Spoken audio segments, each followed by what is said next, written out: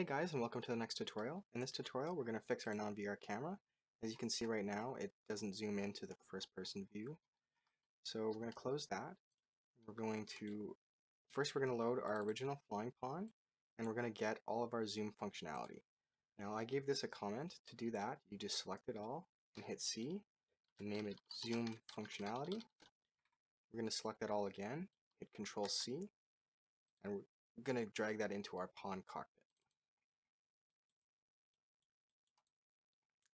So hit Control V, paste that into there. Now we're going to make a few changes here. So instead of setting the spring arm to 0, 0, we're going to get rid of this. We're going to drag in our VR camera. We're going to do, we're going to drag in our original camera. Off the original camera, we're going to do deactivate.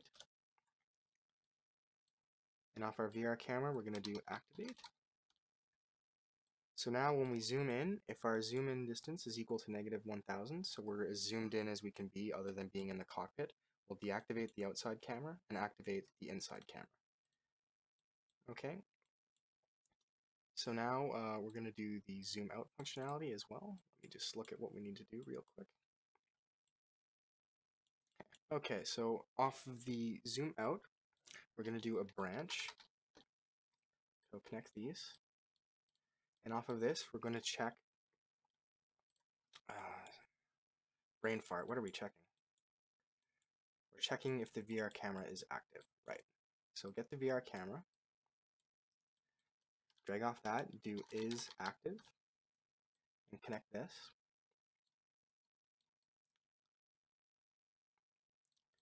Connect our false to the uh, set over here.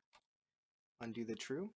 Now, if it is true, and we zoom out, we want to get our VR camera, we want to deactivate it. And then we want to get our outside camera, so we'll get that. We want to activate it. Alright, so let's give this a test. Compile, save, save, play. So if we zoom in, we're in cockpit view, and if we zoom out, we're outside. And then we can zoom in all the way to the cockpit view.